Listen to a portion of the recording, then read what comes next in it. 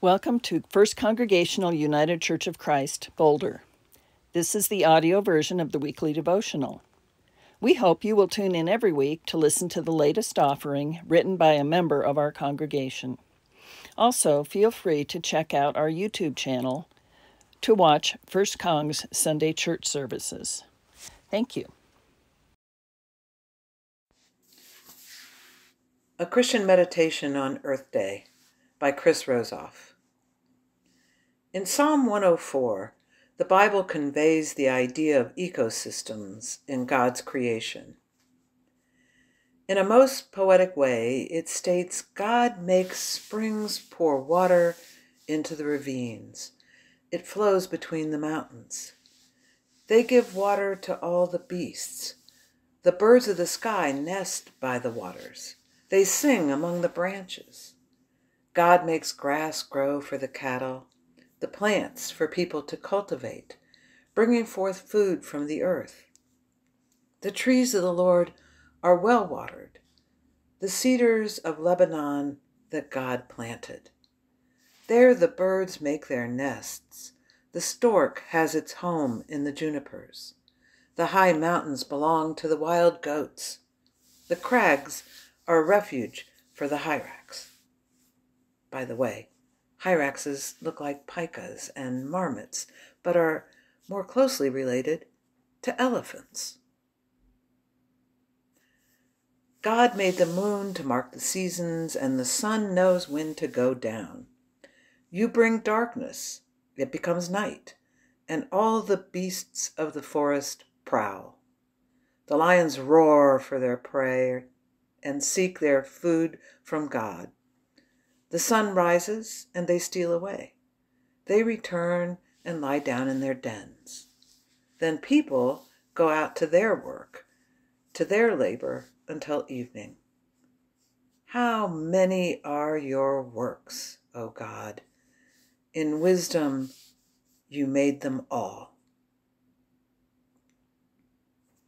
When I revisit these biblical verses, not only am I struck by how relevant this ancient text is to our contemporary understanding of ecosystems, but the beautiful writing lucidly transports me to my memories of sacred places in the wild, such as a crystalline aquamarine high elevation lake on a midsummer day, the wooded shore of a northern Ontario lake or even an urban oasis such as Central Park in Manhattan, where there are at least some vestiges of ecological autonomy beyond the grasp of the best human engineered simulacrums of nature.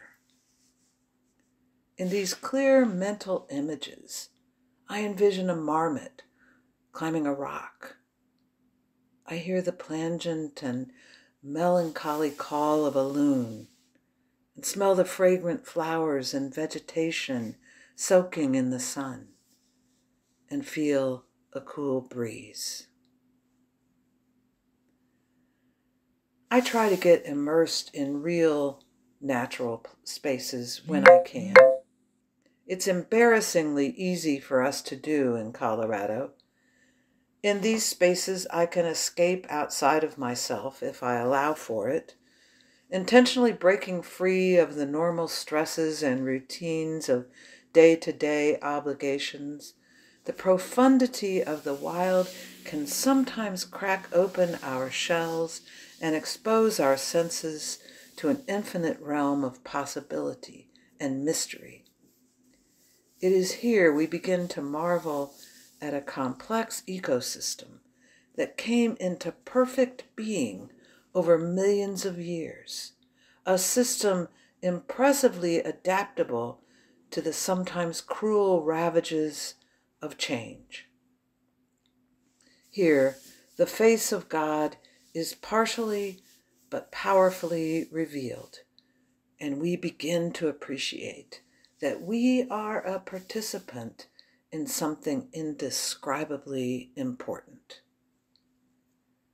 We are awestruck and summoned to protect the precious gift of creation.